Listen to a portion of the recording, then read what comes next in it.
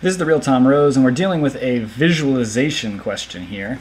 So let's see if we can simply draw this out and come up with an answer. So it's a, we have six points in a plane, no three of which lie on the same line. So what you don't want to do is, is line these all up. And I'm going to draw basically a, a hexagon here. And how many lines are determined by pairs of the six points? So I'm just simply going to start drawing lines and counting. One, two, three, four, five. And you can tell I'm being a little systematic here. I'm drawing all these lines from the same point. So I've done five, and I can do no more from that point, so I need to switch points to this one. And now I would expect to get five more lines, right? Because we have six dots.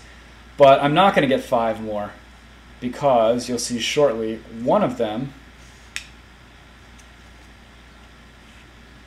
has already been done, right? So if I drew, if I drew a, uh, a line between this point and this point, that would be the same line that we've already drawn. So I'm not going to do that one again. So I got five for the first one, then four, and I can already start to see a pattern emerging. This one's going to be three, but let's just let's just do it out anyway. One, two, three, and I can't do any more. This one's going to generate two points.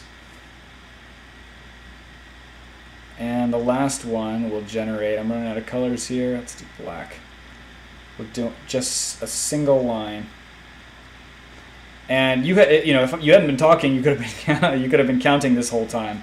We ended up with um, five. If you go back, 5 plus 4 plus 3 plus 2 plus 1, which is equal to 15, which is answer choice B.